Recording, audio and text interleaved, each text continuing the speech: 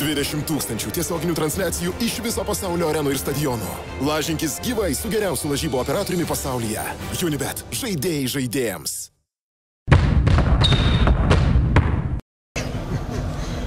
Kaip vertinate, Jonai, rungtynės iš tikrųjų sunkios buvo? Jo, buvo sunkios varžybos ir, a, ir tikrai, tikrai ir patampint turbūt nervus visiems ir, ir, ir, ir tikrai ir patys, patys buvom nervuoti, bet nu, svarbiausia, kad pasiekėm pergalę. Tiesioginis oponentas Fesenka atrodė gana solidžiai. Jo, jis, jis tikrai neblogas žaidėjas ir, ir turi judesių po krepšių ir jo, jo pagrindinis, pagrindinis ginklas yra po krepšių, žaidimas vienas prieš vieną, turi masę, kūną gerą, tai nebuvo lengva. Dvikovos pabaigą pačiam teko nusuliuko stebėti. Sunku?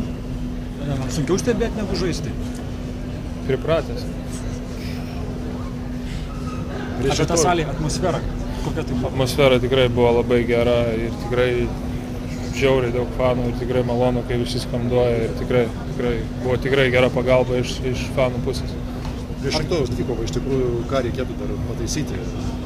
Ties kuo susikaupti, koncentruotis? Galbūt, kai, kai, kai, kai pabėgam šiek tiek, galbūt ten buvo pliusas 12 taškų, 10 taškų, mums reikia susikoncentruoti ir išlaikyti tą, tą persvarą, nes, nes dabar labai lengvai išbarstam.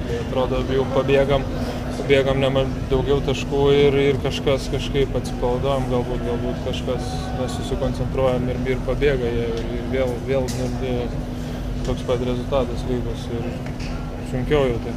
Dabar nubrauksite, jau ga- galima sakyti, tą pirmą, pirmas rungtynės e, toliau lengviau bus.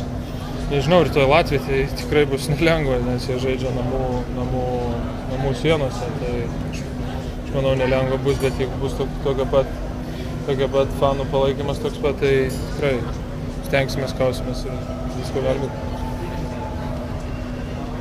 Ačiū. Dar sakysiu.